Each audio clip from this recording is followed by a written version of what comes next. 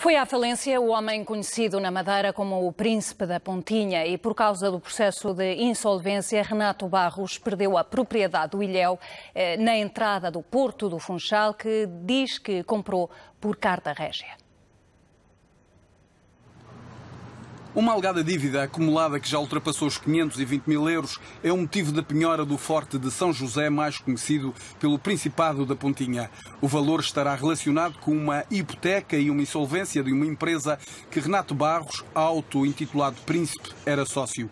O Ilhéu foi encerrado contra a vontade de Renato Barros, que teve de ser detido pela GNR por desobediência à justiça. O príncipe, que está com termo de identidade e residência, garante que não deve nada a ninguém. Não deve nada. Nega não, que não, nega, não, não, há, não há prova desse, desse dinheiro.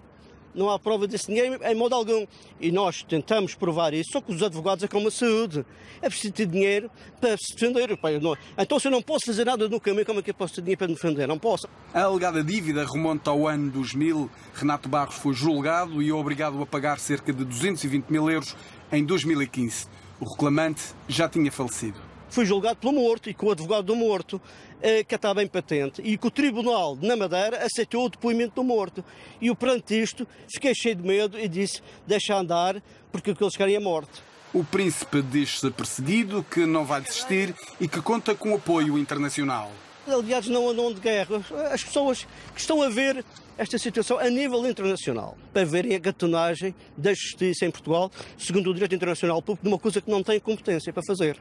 Renato Barros comprou o Ilhéu da Pontinha através de carta régia em 2000 por 9 mil euros. Recentemente abriu as portas do Principado para dar asilo político a José Manuel Coelho, julgado com pena efetiva de prisão pelo Tribunal de Funchal.